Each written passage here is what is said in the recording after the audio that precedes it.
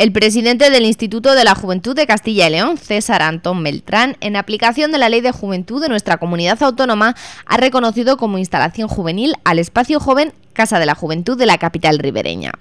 Uno de los más veteranos y valorados que ha sido tenido en cuenta para llevarse esta distinción gracias a méritos adquiridos como la cualificación profesional de sus trabajadores, los servicios prestados a los ciudadanos y las completas y recién remodeladas instalaciones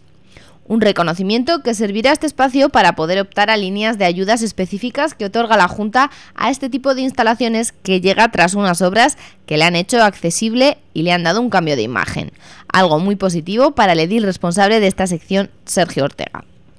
Yo creo que es la mejor contestación que se puede dar a, la oposición que en su día criticó la obra y que hoy pues, eh, la Junta de Castilla y León nos, nos da esta nueva titulación que supone pues, que están conformes y de acuerdo con la obra ejecutada. En la Casa de la Juventud se vienen desarrollando actividades durante todo el año, retomándose este fin de semana la segunda parte del programa del punto de encuentro con multitud de talleres, además de ser un espacio que siempre mantiene llenas sus salas, ya sea concursos como el de monitor de ocio y tiempo libre, los que se ofertan en periodos vacacionales como Navidad o con personas que acceden a Internet de manera gratuita. Además, en esta instalación municipal está a disposición de los jóvenes un asesor jurídico y lugares donde se pueden reunir las asociaciones y los grupos arandinos que celebran periódicamente la mesa de trabajo que fructifica en actividades como la ya consolidada Semana Joven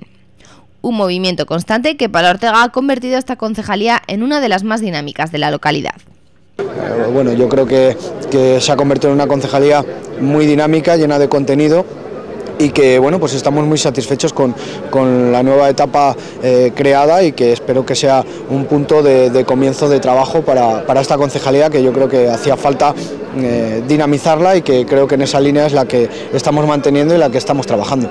Desde Juventud se tiene puesta la mira en una próxima inauguración, la del Museo de Cerámica, un espacio que dará cabida a multitud de obras de arte que Ortega espera abra sus puertas antes de que finalice 2010. Además, el edil socialista desea que la próxima legislatura se continúe con un proyecto abierto a todos los interesados en el arte en el edificio de la Baja del Molino, el Centro de Arte Joven.